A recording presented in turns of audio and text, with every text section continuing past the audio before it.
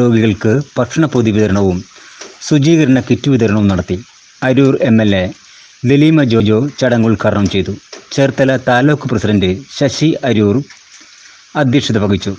ദൗത്യസേന സംസ്ഥാന അധ്യക്ഷൻ വിജീഷ് നെടുമ്പ്രക്കാട് മുഖ്യപ്രഭാഷണം നടത്തി.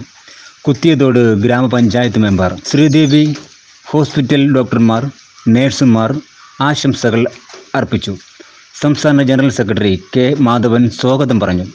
സംസ്ഥാന കമ്മിറ്റി അംഗം വിനോദ് തൃപ്പൂണിത്തറ നന്ദി പറഞ്ഞു.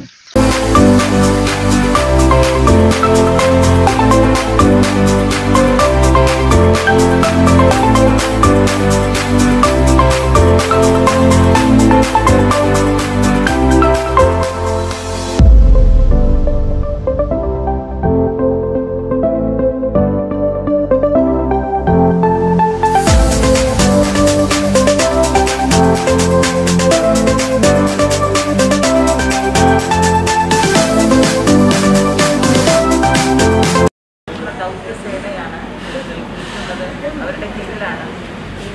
ഇവിടെയുള്ള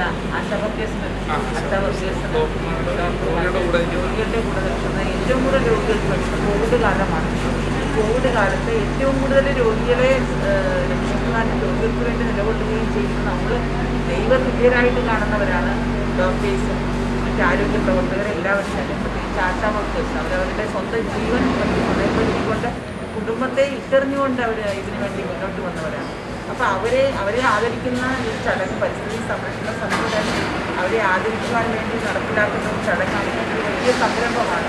കാരണം ഇത് എല്ലാവർക്കും തോന്നുന്നതല്ല.